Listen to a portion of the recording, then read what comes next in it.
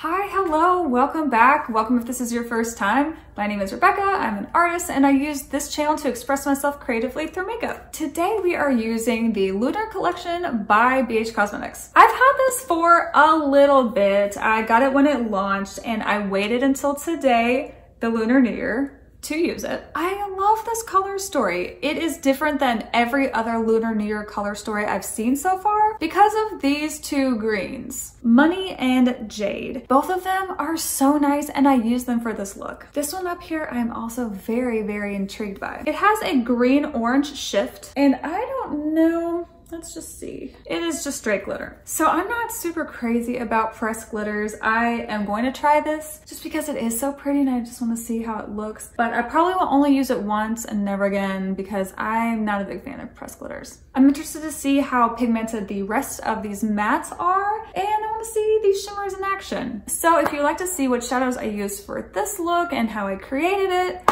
keep watching.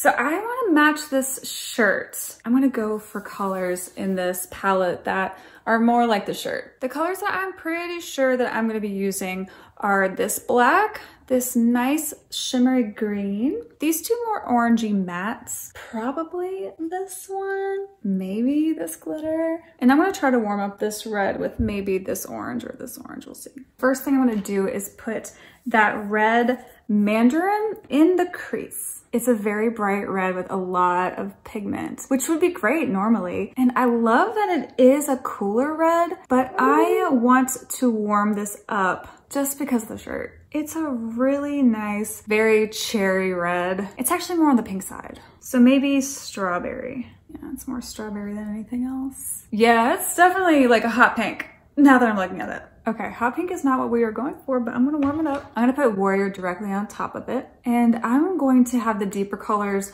go this way. The lighter colors will be in the inner corner. To deepen that hot pink up, I'm to use Great Wall. I like the blend of this aubergine and the orange color together better anyway. With a little fluffy brush, I'm to use Mandarin and blend this up into the brow. I think they're blending pretty nicely. And now that Mandarin again, I'm going to blend the crease, that purple into the pink. The good news is if you have this palette, Valentine's Day is coming up. And so now that we know that, oh, I said Mandarin the whole time. That orange color is Warrior. And I was thinking Mandarin because Mandarins are orange. Mandarin is that red color. It looks red in the pan. It's pink on the eye. So now what I was trying to say was the good news with Valentine's Day coming up, if you have this palette, is Mandarin is hot pink, so you can use that for a Valentine's Day look. So that's good news. Unexpected, but good news. I'm gonna be doing a half cut crease anyway, so I'm not really concerned with this right here. Now I'm gonna pop a little bit of glitter glue on my lid for the shimmers. I'm probably gonna thank Bean every single time I do this because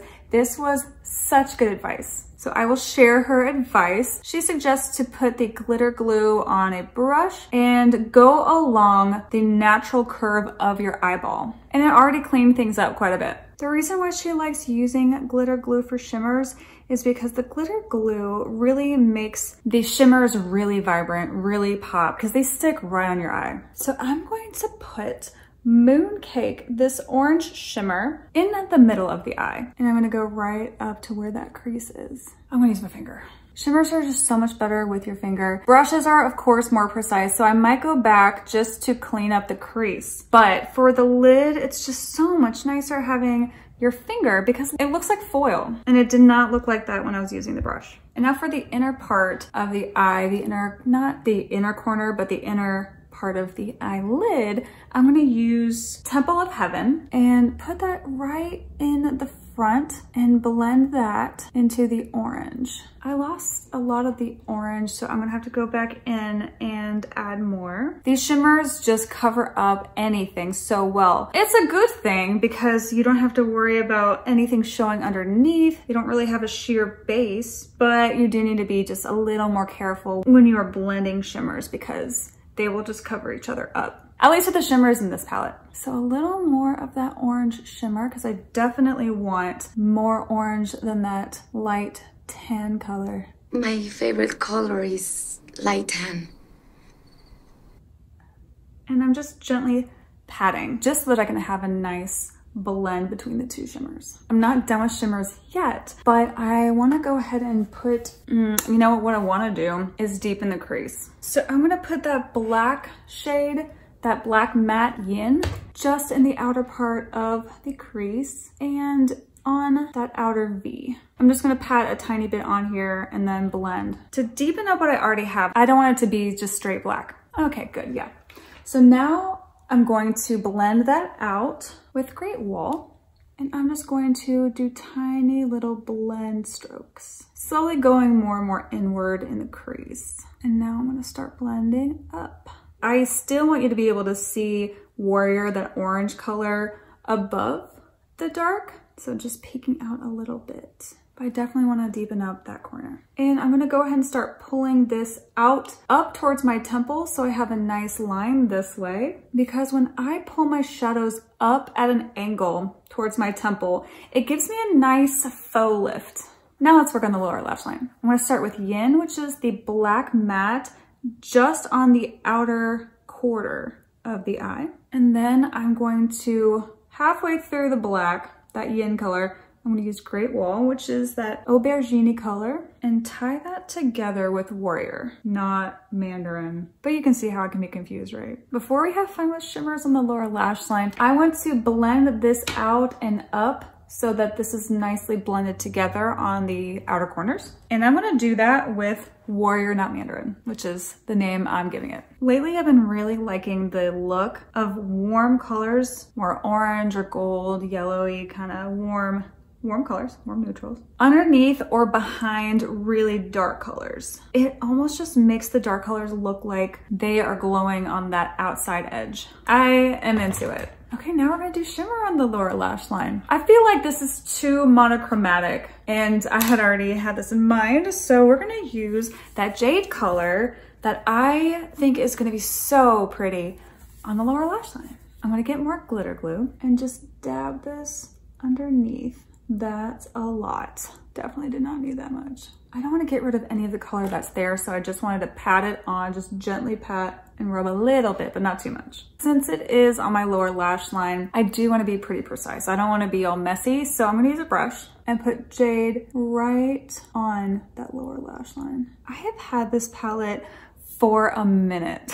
I ordered it right when it launched. I was so excited to use it, but I made it myself wait for the Lunar New Year, which is today. There isn't another green in here other than this really, really light limey green. So I'm really tempted to use that under this shimmery green. Really tempted. And since we're just playing around anyway, I may for real just use it. By no means do I think this look is boring. I just think it is a little mono tone, not so much monochromatic, but the tone is pretty similar. So maybe let's just add a little bit of this limey green and see what happens. I'm gonna use this nice little fluffy brush because it doesn't really pack a punch, which is gonna be useful. Look at that. well, here we go. So I'm definitely using this lime green in the inner corner. I really did not think I was going to love this as much as I do. I was not sure about this lime green. That was a surprise. So I don't think I'm doing any glitters. I'm not a giant fan of pressed glitters anyway. I do actually want to deepen this up a little bit more. So back with yin, I just want to pull that in just a little bit. We're just going to do an angle here. Okay, that's better. So this is supposed to be a Lunar New Year look, but it can also be a fall look. So if you hold on to this palette until next fall, you can produce some really, really nice looks. I've got the green and yellow and the orange, red, black. It's a fall look, but I guess it's also a Lunar New Year look.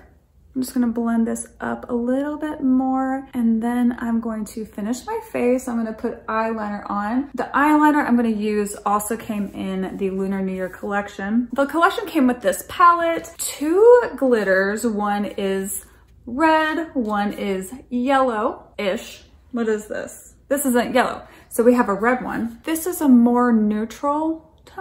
It's a light, neutrally tone. Light tan. And just so we can see what that looks like, let's just pop it on. Now we're getting Lunar New Year festive. I wanna be careful not to go too far out on the eye because I'm gonna be using a liner pen. I assume it's a felt liner pen. I haven't used it yet. It came in this collection and they do not go over glitter at all. So just so you know what that glitter looks like, not on eyeshadows. I don't know if you can really tell, but it is a nice warm glitter with blue sparkles. Let me turn the light down just so you can actually see what this looks like in normal light. So that is the glitter. You can't really see the blue sparkles, but I promise they're there. There are just a few of them. I'm gonna show you the red one also. I feel like BH said recently that they had sold out of the Lunar New Year collection or they were close to. So go check. I don't know if they're sold out or not. I just checked and they are not sold out. This looks like a finer glitter. Oh God. So these are the two glitters. I'm gonna turn the lights down again. So these are these two glitters. Glitter's fine. It just gets everywhere. So before I forget, I'm gonna put that lime green on my inner corners. Oh, that's fun. It's just a little pop of lime green. I really thought this look was gonna be way redder than it is, but I just followed where it was taking me. And this is where it took me, to fall.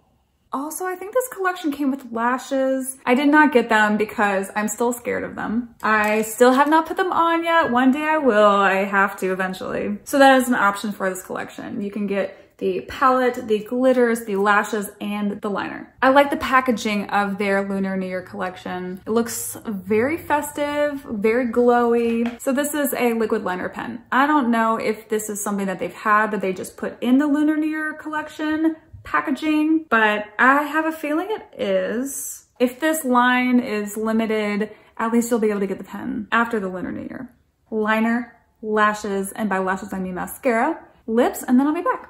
And this is my final look. Oh, let me back up. So I had a little bit of difficulty using the liner that came in this collection. I started out testing these after I had a hard time on my eye, and then this is what I ended up with. It's just faded, and consistent. It's one of those pen liners that doesn't shake so there's no way to actually refill that tip. I ended up using the Maneater liner by Tarte, which is kind of my go-to. Of course, this look, especially with a liner this thick and bold, would be great with some lashes, but I'm not ready yet. I will be soon. I can feel it. I can feel me getting more and more ready to be brave and put lashes on my eyes. I will pick a date, I will put on my calendar, and I'll film it, of course. But today, just mascara. But I can see it. I can see why you would use lashes. And to tie it all together and make it even more festive, Lunar New Year-y, I put a red lip on. I hope you have enjoyed this video. If you have a BH Lunar New Year collection, let me know. I wanna know what you did with it. There are a couple other things I really wanna do with this palette,